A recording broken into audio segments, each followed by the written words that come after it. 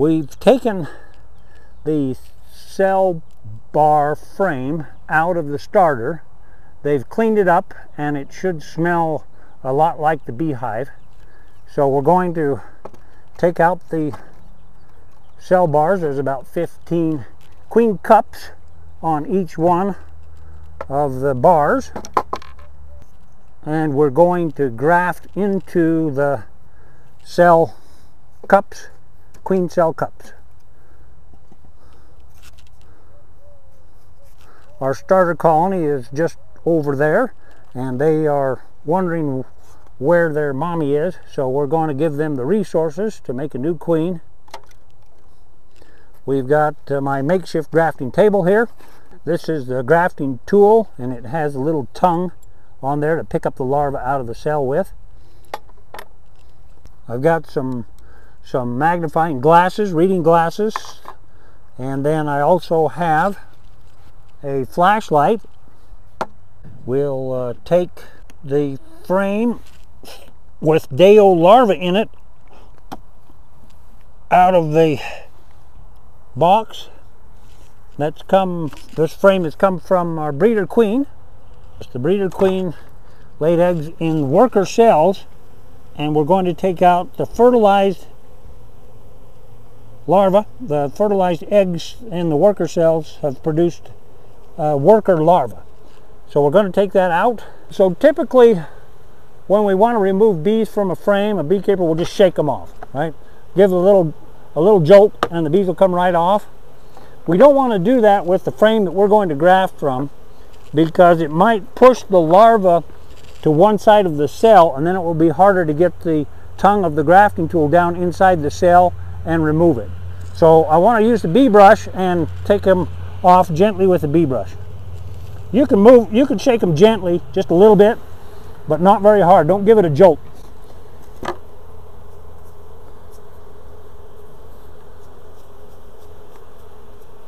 It's a little bit unnerving or distracting anyway to have bees crawling on you while you're trying to graft. So we want to get all the bees off of there.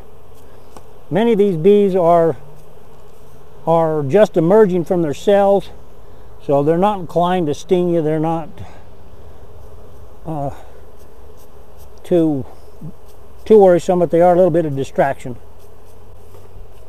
We have on the cell bar about 15 cell cups. So we're going to have a total when we're done of about 45 of them. I'll put this other frame in there so those bees will have something to crawl on until I can return the other frame. All right, this is capped over brood. You can see some of the bees on there are just emerging. So typically as the, the bees from this generation emerge from their cells, the queen will come back and lay eggs in the empty vacated cells. And so if you're looking through a colony to find one that has just the right age larva to graft, a day old, a frame like this is typical. You'll see a ring of of emerging brood and empty space in the middle. There should be eggs around here and some day-old larvae near the center.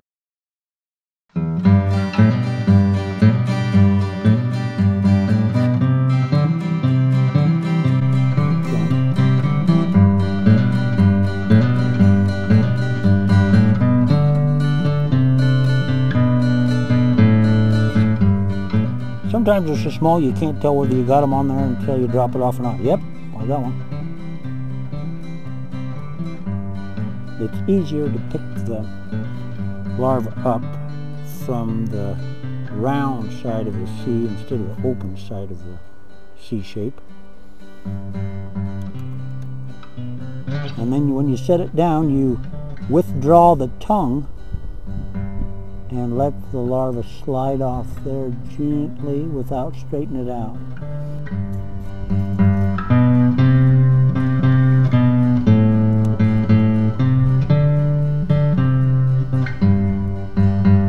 That one, I, I didn't get it that time. Wasn't on, it was so small, even with two and a half times reading glasses on, sometimes I can't see them.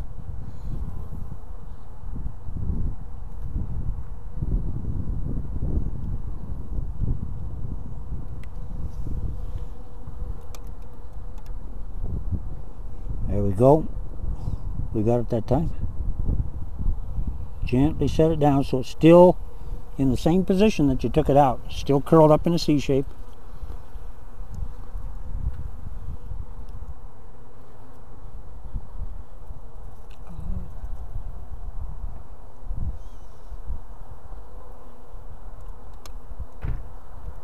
How do you keep track of which one you just put them in? Uh, I just have to look one back. You can put your finger there or put something to mark it, but I don't. I just look and make sure.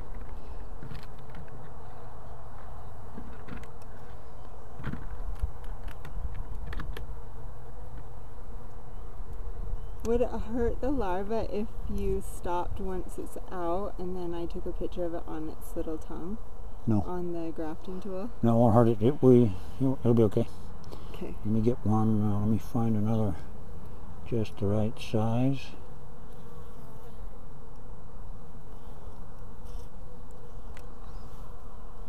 You want the light on it? Um, let's let's see. Kind of hold it still. Will you hold it more this way so I can? Yeah, just so it's over the dark background, kind of. And that is not. Okay, go ahead and put it in there and Okay. we'll keep. One of these has got to work. Are you missing your event, Alan? Oh, I'm gonna go in in just a minute. Okay. You got everything you need? Yep. Do you have the Chinese tools? Do you want those? um, I'm just using this one. We'll we'll try one here in a minute. Yeah. Oh, yeah. You like that one though? This uh, I I can do with either one. I've got. Uh, So you're good with what you got? I'm good with what I got, but Okay. No, I'm just uh, missed it. gonna take off and then make sure I'm And that one flipped over. I can't use it. Is this yours of something? Um, Oh, Nope. Is that yours? oh yeah, I had that. That uh, that was the syrup. I had the syrup in there. Okay.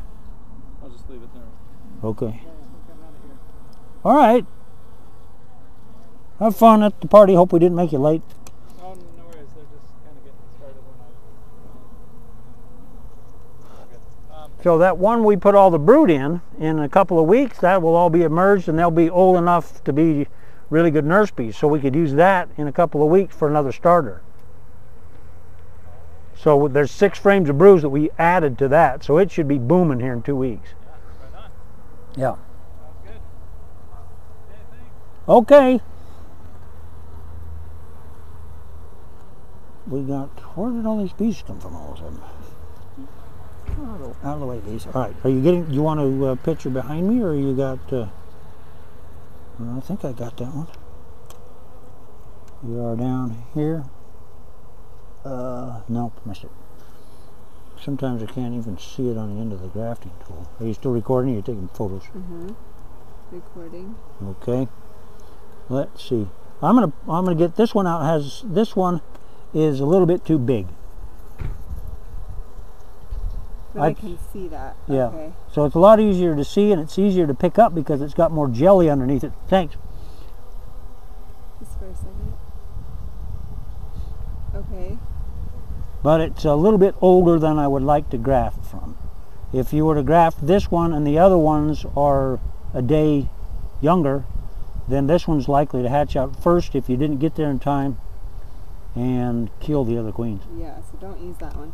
You just put it back in, or it's just done. That's done. I don't. I don't. Uh, I don't know if they'd survive it for. That one's a little bit smaller. That one's okay.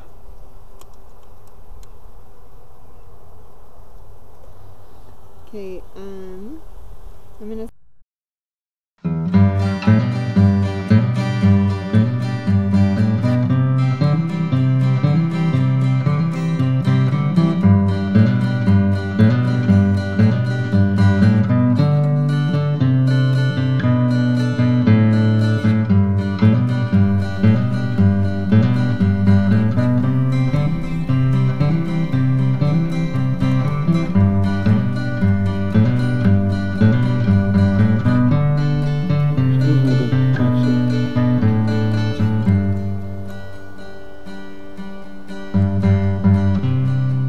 Got too many bees crawling on the frames here. This is why you do this in the cab of your truck.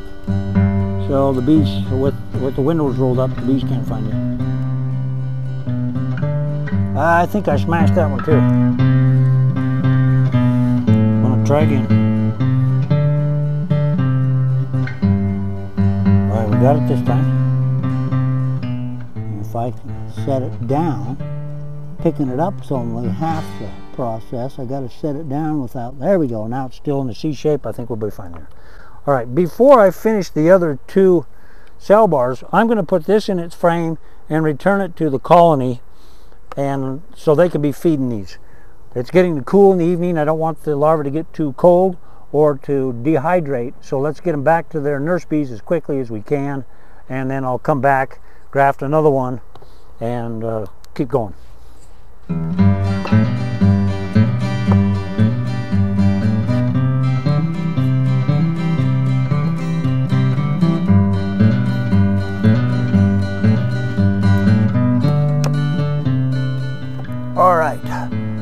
Here we go.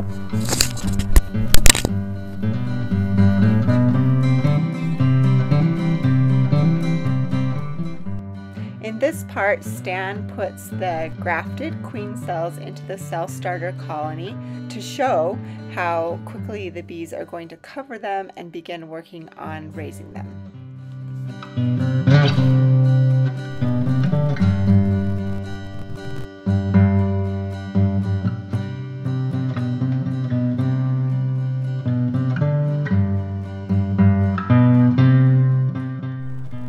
About 10 seconds of being in the hive, we can see that those queen cups are already covered by bees and they're going to go to work on them right away. They're excited to have a queen in the cell starter colony. Next, Stan will start grafting into the second cell, cell starter frame bar. And once all of the queen cups have a day old larva in them, he will return that to the hive. It's important that the larvae not be away from their nurse bees for very long. The nurse bees constantly feed them, so we just do one bar at a time so that we can get them back into the hive as quickly as possible. All right, that's it. There's the last one on the last cell. Let's go put it in, and we're done grafting for now.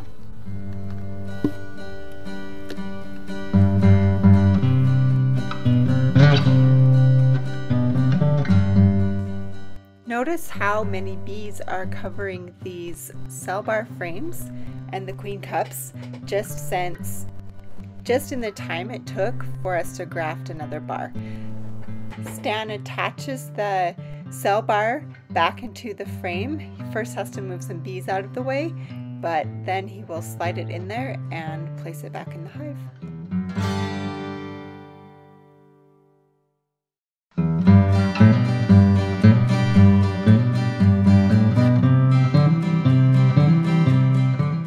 He'll come back in five days to check on the status of the queen cells that the bees have drawn out around those larvae that we just gave them, and then come back on day 10 to remove those bees from this colonies and put them into their mating nukes.